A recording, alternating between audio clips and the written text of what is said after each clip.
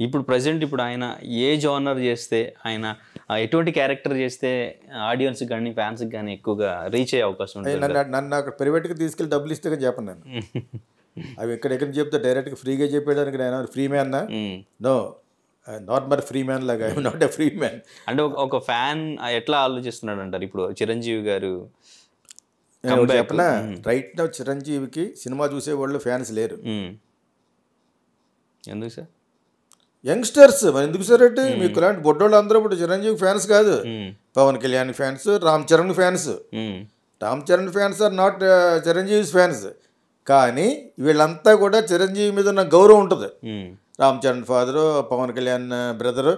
And already ఎవరు Chiranjeevi fans మాలాంటి వాళ్ళు ఉంటారు కదా. అర్థమైందా? వీళ్ళు కూడా చూస్తారు. ఇప్పటివరకు వీళ్ళు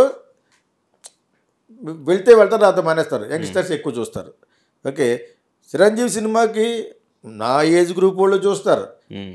అండ్ మీ ఏజ్ గ్రూప్ వాళ్ళు కూడా ఎందుకు చూస్తారంటే Chiranjeevi produced six seven heroes. అర్థమవుతుంది లాజిక్ మ్మ్. రామ్ చరణ్ కానీ మొదలు పెడితే పవన్ కళ్యాణ్ మొత్తం అందరూ చూస్తారు అన్నాను. అంటే ఆయనకున్న ఫ్యాన్ ఫాలోయింగ్ గురించి మనం చెంకించండి is got a very very big అందుకని ఎవడన్నా నేను ఆయనతో సమానం అనుకుంటే నేను నవ్వుతాను అనమాట ఎలా నవ్వాలో నాకే అర్థం అవుతుంది అంటే ఇస్ గాట్ దట్ ఇది. నేను అవుట్ ఆఫ్ ఆక్రోషం ఉక్రోషంతో చెప్తాను. ఆయన కూడా ఇంకా చాలా మంచి సినిమాలు తీయొచ్చు అని చెయ్యొచ్చు. నేను definite I want to meet him also అతను ప్రభాస్ని ఎందుకు కలవాలంటే వాళ్ళకి ఎక్కడో వెళ్ళిపోయింది. ఆ ఇమేజ్ ఆ ఇమేజ్ సరిగ్గా క్యారెక్టర్ చేసి చూస్తారు. ఎందుకు చూడ ఇంకా యంగ్ యంగ్ ప్యాడింగ్ పెడతాడు ఇప్పుడు విక్రమ్ చేసిన పని ఏంటి. మిగతా ప్యాడింగ్ని పెట్టాడు. లేదా ఆయన ఒక్కడ యాక్ట్ చేస్తే డమాల సినిమా అది. హండ్రెడ్ పర్సెంట్ ఫ్లాప్ అయి ఉండేది. Okay. Minus Vijay Sethupathi. Minus that Fahadh and minus Suriya Fahadh ఉన్నా కూడా అది అతను కొత్తగా వచ్చిన నటుడు పర్లేదు వీళ్ళిద్దరూ లేకపోతే సూర్య అండ్ ఇది లేకపోతే అది డిజాస్టర్ అవుతుంది. ఓకే అంటే ఇప్పుడు చిరంజీవి గారు కూడా సినిమాలో ఒక సపోర్టింగ్ రోల్ ఉండేలాగా ఏదో క్యారెక్టర్ చూస్తున్నారు. అదే అన్నాను. అదే అన్నాను.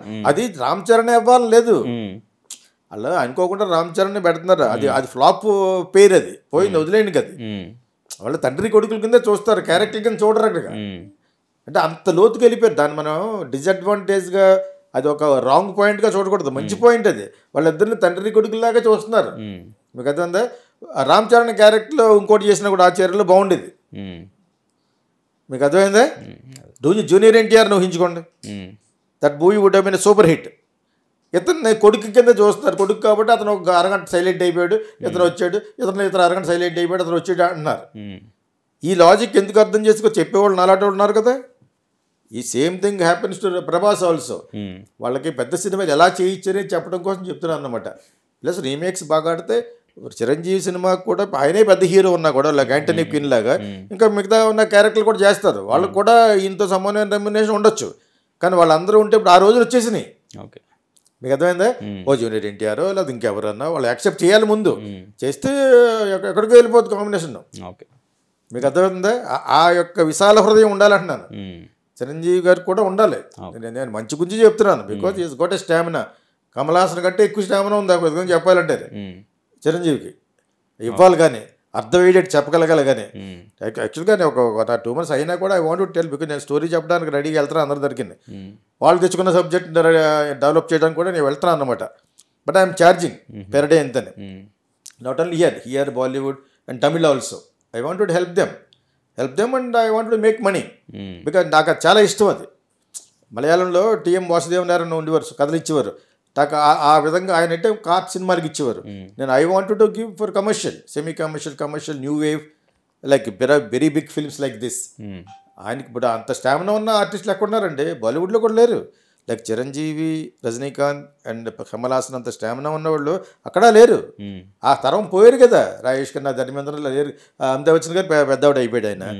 ఇంకెవరున్నారు? కొత్తగా వచ్చిన అక్షయ్ కుమార్ ఒకటే పెద్దవాడు అక్కడ. అంతేనా? వీళ్ళు అక్షయ్ కుమార్ కంటే ముందు నుంచి వచ్చిన వాళ్ళు అండి వీళ్ళందరూ వీళ్ళు still they are going strong. Like Chiranjeevi Kamal Haasan Rajinikanth. Okay. Okay sir. Sir ఇప్పుడు ప్రభాస్ గారు రీసెంట్గా లుక్ చూసారా? బ్రహ్మాండంగా ఉన్నాడు నిన్న మన లుక్ కాదు. జనరల్గా ఎవరో ఇంట్లోంచి బయటకు వస్తున్నట్టు నేను. చాలా స్లిమ్ అయిపోయారు. చాలా బ్రహ్మాండంగా ఉన్నాడు. అతను ఇంకా అతనికి ఇంకా అతనికి నో డిస్ప్యూట్ ఇర్రెస్పెక్టివ్ ఆఫ్ ఎనీబడీస్ది నేను అతనికి మైండ్ ఎందుకు లేదని అన్నానంటే ఇంకొంచెం బాగా ఆలోచించుకుంటాడని.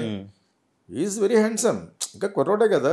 Is younger to all these people Pawan Kalyan అందరికంటే బాగా యంగ్ కదా. ఉమ్, అంచేత అతను ఇంకా చాలా బ్రైట్ ఫ్యూచర్ ఉంది.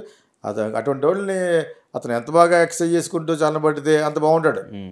అంటే ఇప్పుడు ఆ బాడీ విషయంలో హీరోస్ కానివ్వండి ఆర్టిస్టులు అయినా సెలబ్రిటీస్ ఎవరైనా సడన్గా తగ్గిపోతుంటారు సడన్గా పెరుగుతుంటారు అది ఎలా పాసిబుల్ అవుతుంది సార్ అది? అది ఆ బాడీ కాన్స్టిట్యూషన్ బట్టి ఉంటుంది. అది చిరంజీవికి పాసిబుల్ లేదు అది. చిరంజీవి బొజ్జ తన్నుకుంటూ వస్తూ ఉంటుంది. ఇది. అది అందరికీ తగ్గదు. ప్రభాస్ తగ్గింది కుర్రోడు కాబట్టి. ఫిఫ్టీ ఇయర్స్ దాటిపోయిన తర్వాత ఎంత ఆయనకి ఉమ్, ఎన్ని బాగుంటాయి ఇక్కడ మట్టుకు చెప్పేస్తూ ఉంటుంది. ఇక్కడ ఫ్యాట్. అర్థమైందా? అంచేత ఈ- అప్పుడప్పుడు అలా పెడతా ఉంటాను. సరదా చెప్తున్నాను. అలాగే అప్పుడు వాళ్ళ- వాళ్ళంటే ఆర్టిస్టులు కదా. ఆర్టిస్టులు అంటే మనం అందరం కూడా మెయింటైన్ చేయాలి. అపియరెన్సెస్ ఆర్ రిసెప్టివ్ అని you have to give at face is index of mind అని రెండు బ్రైట్గా ఉండాలి. ఉమ్, సపరేట్ ఎక్సర్సైజ్ ఏమన్నా ఉంటే ఉంటాయి. ఎందుకంటే మరి జిమ్లు అందరూ అలా బతికేస్తారు కదా. ఇప్పుడు కొంచెం భయపడుతున్నారు. పునీత్ బాబు అబ్బాయి పాపం చాలా మంచి బాడీ అతను. అతనికి అలా కావడంతో అందరూ కొంచెం భయపడుతున్నారు. అతను కూడా సినిమా గురించి చేస్తున్నాడు. మీకు అర్థమైందా?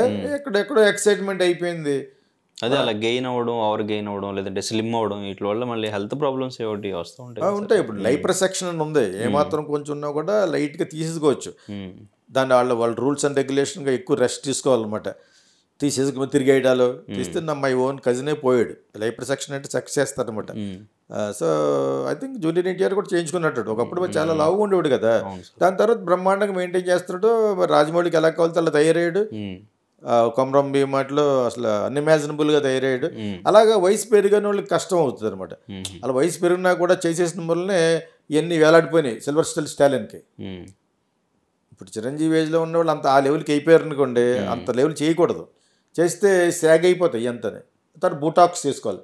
బోటాక్స్ ఇంజెక్షన్స్ ఉంటాయి. ఇది ఈయన చేసుకుంటాడే. Chiranjeevi always does botox injections చేస్తే ఈ లాఫ్ లైన్ ఉంది కదా ఇది కొంచెం ఎలా వస్తుంది అనమాట ఓకే. ఈ ఇక్కడికి ఇవన్నీ కూడా గ్రాఫిక్స్ చేస్తారు. ఈ ఈ కవర్ అవ్వవు ఇదైతే నాగేశ్వరరావు గారు చేయించుకున్నారు ఆ రోజుల్లో పూర్వం ప్లాస్టిక్ సర్జరీ లోపలికి ఇలా లాగి. ఎప్పటి నుంచో ఉంది actress. Marlon Brando Marlon Brando కావాలని చేశారు గాడ్ ఫాదర్లో అతను ఆ లుక్ రావడం కోసం లోపల ఇవి పెట్టి ఇలా లాగారనమాట అది అది క్యారెక్టర్ గురించి. ఇప్పుడు ఎక్కువ ఎక్సర్సైజ్ చేయడం అనేది ఈ వయసులో కష్టం.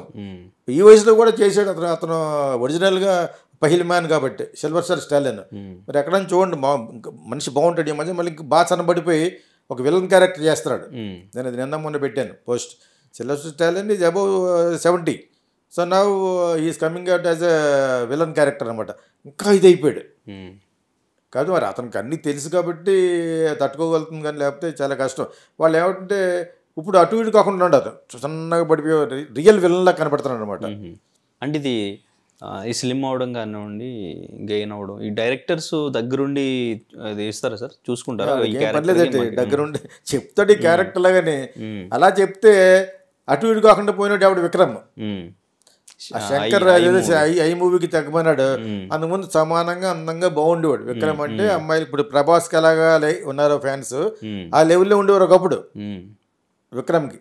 ఆఫ్టర్ అపరిచితుడు ఆడ సినిమా తమిళ్ళో పేరు అనుకోండి ఉన్నా కదా అతను ఇతను ఏదో క్యారెక్టర్ గురించి సన్నపడాలి అది ఏదో పెద్ద కళాఖండం లాగా నిన్న వచ్చి మనం రెండు రోజులు పోయింది అది.